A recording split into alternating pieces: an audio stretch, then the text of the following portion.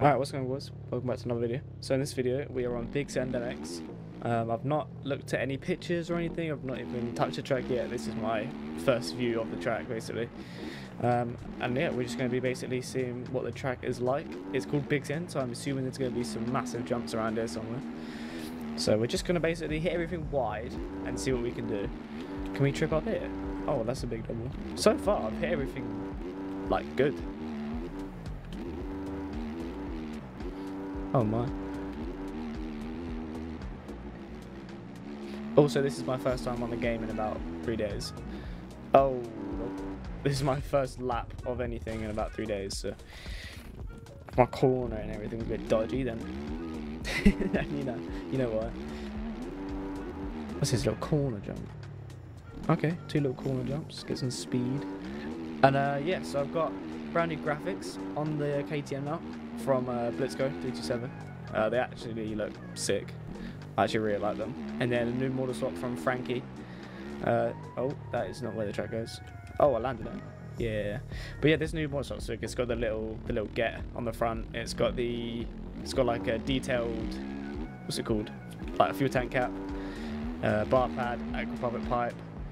It just looks sick all around, really clean. It's the same model as what um, like Chase X and all that have. Like same bar pad, it's got the disc cover. Oh, blimey. Land it, that flip. Uh, don't know if you can see it if you crash on the right side. No. Sorry to interrupt the video, but if you want to be coached with someone that podiumed at the first ever MX First LAN event, then click the MXB Coach link in the description and you can book a one-on-one session with me now. Back to the video. So I'm looking forward to the Supercross season. I think I'm going to be sick in...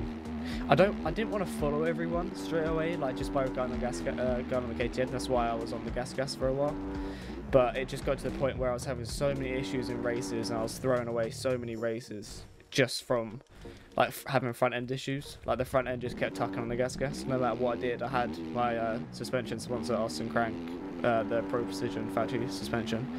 It was making me setups and I tried so many setups. They, they were good. Like they were working fine. But like they'd work on one track and then I'd go to another track and it was horrible and so I had so many different setups for the gas gas, and I couldn't, I just couldn't get it to do what I wanted to do. So I was like, you know what, screw it, I'm gonna try the gas gas, uh, gonna try the KTM. So I went into a few lobbies on the KTM, um, pretty much won all the races, had no front end issues, and I've had one suspension for about a week, and I've not had to change anything on it. So it's like, do I stick on a bike that I really want to ride, like the like the gas gas? Do I stick on a bike I really want to ride? I really like the look of it, but then I'm losing races, I'm having issues, and the game's not as enjoyable. Or I just just follow everyone else and just ride the better bike. So I think honestly that's what I'm just gonna have to do for now is just stick to the KTM for a little bit. I just had enough of so many, like I had enough of just all the issues I was having with the gas gas. It might just be a me thing, maybe it's the way I ride the bike. But yeah, I just I just couldn't get to do what I wanted to do. I could never feel comfortable on it. I could never scrub it and throw it around. I never felt confident coming into corners or anything. And you, you, you can't be quick in this game if, you, if you're not confident in the bike. So basically I chose the bike that I felt the most comfortable on and that's the KTM to be honest. So looks like we're just going to be following everyone else.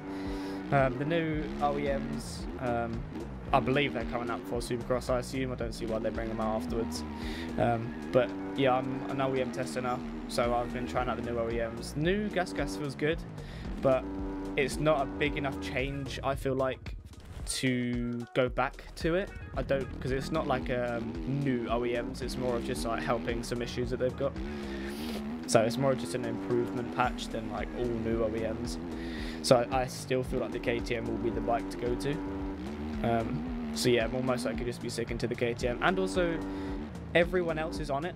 So like, there's get we're getting model swaps made for it, we're getting graphics made for it, and it was just sort of the bike that we were getting everything for.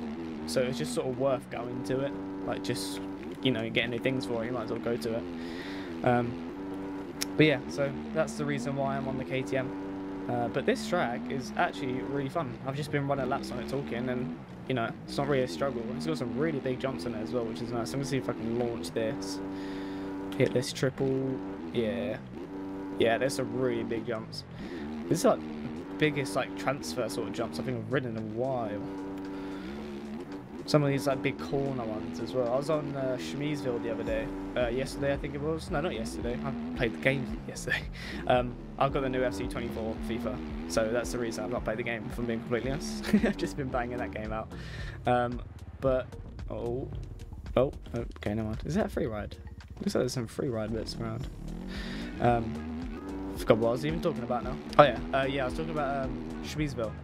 So yeah, I was riding Schmeesville a few days ago um, on the KTM, and it felt good. There were a few big jumps in there, but I think these jumps are bigger, like a lot bigger. Schmeesville is a very flowy track. It's very nice to, you know, be smooth, stay low on some jumps. On this one, it's just full of booters. So if you enjoy jumps and you enjoy do, doing big whips and big oppos and stuff, then give this track a go. This track's really fun just to hop on and, you know, chill. It's not a hard track. It's not going to take you long to learn. The hardest part to learn probably about a track is, you know, what jumps to launch and what jumps to scrub. These ruts are nice as well. These ruts really like hold you nicely. I Forgot actually what this jump is. I'm just going to launch it. Oh, it's this one. Okay, and then we can launch this one as well. Ooh. Launch it, triple it.